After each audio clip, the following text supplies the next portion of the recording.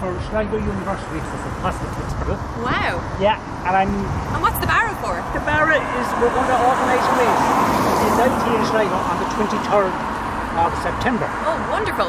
Well, And yeah, are you training? I'm in serious training. I know, but maybe you could give me a hand. Will you take a break from your training? I'm supposed to be in Tralee tonight, and my car is just giving me a bit of bother. Well, yeah, well, sure. I, I'm intending to go to every county in Ireland next year, so I'll bring you to Brilliant. Tralee. Will you? I will. Hop in. Uh, brilliant. Thanks a million. I'm delighted you're going to Right, help me. don't forget your bag.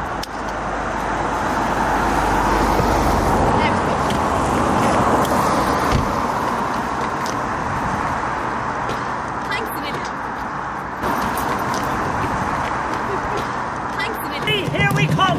Don't forget, 23rd of September, IT Sligo. Get your wheelbarrows oiled up